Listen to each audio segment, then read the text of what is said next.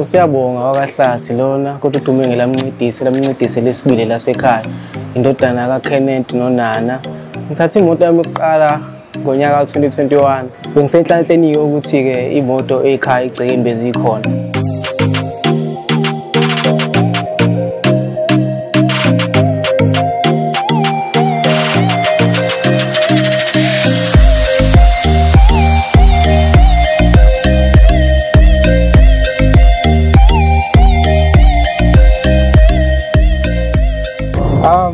Soshintsha i-Grand i10 2021 sethatha i-Grand i20 2021 brand new ngokubili umbala uzokushintsha.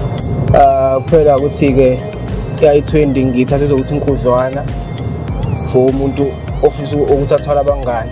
Le incane ngokwespace ngaphakathi. Ngaphandle anginakanga kodwa ngaphakathi mina ngizwe incane ongeke uze ngibuye nakho-ke mhlampe ku-i20-ke ikho-ke o-leather seats no, no steering covering nesondo leli eliyinsimbi because ngiyothatha istandard nje sesondo. Kodwa-ke ngizamile ukubamba okunye njengombala ngithatha umbala ofanayo um le le yu-red kuphela kanti le bu-red and black. Ya ngale kwalokho nje athi i20 izoba ngconywana.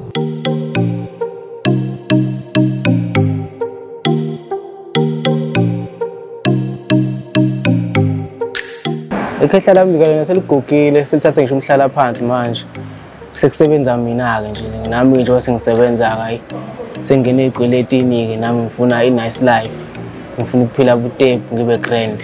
This car will change my life and not so much in a significant way because I had a car previously.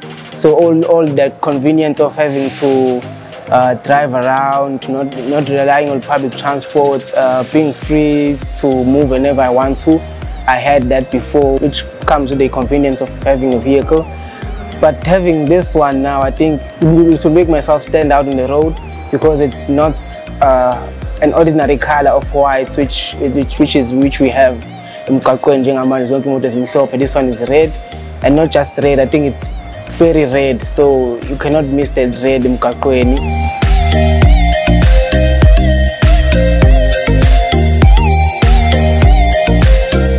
inhlelo ey'khona mostly okay, definitely ama-trips definitely uh, ama-getaway nama-get together uh, so far esikwadini sami kusayimina kuphela osakwazile ukuthenga imoto. Ezinye izinto futhi ukuthi ngithathe le moto ukuthi yona inkudlwana. So sazogcwala nje futhi sipintshana kube omunye phezu komunye. Uma soshaya ibrayi noma siyele ebhishi um kunabangani bami abakude futhi-ke abafisa ukungihalelisa ngale kamoto yamentsha so uhambe olude enginalo ngilihlelile njengamanje. Ubreak i-firehead khona umuntu oyobona le moto nje phethe i-firehead so ngiyakuyena. I love right Siyabangena bafethu, siyabangena, si-on, si-on.